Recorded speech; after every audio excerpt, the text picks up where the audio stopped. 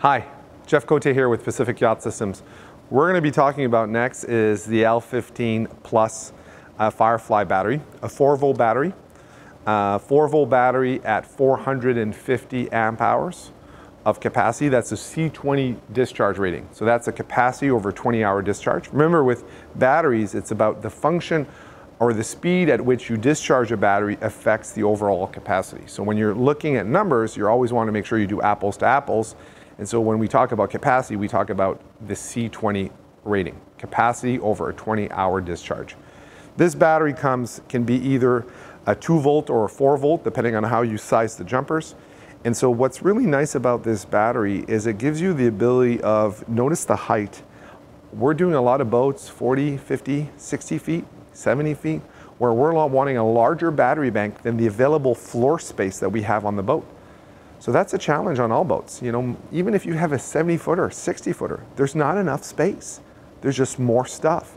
And so what happens with these batteries, because you have that gain of height, all that capacity is also vertically in height. What that means is we can have more battery banks in less footprint on the boat.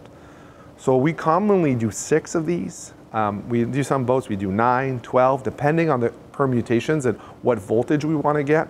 We did a big, um, about 85 footer where we ended up putting 12 of these um, in 2 volt configuration for a 24 volt bank. So it was one series battery, 24 volt.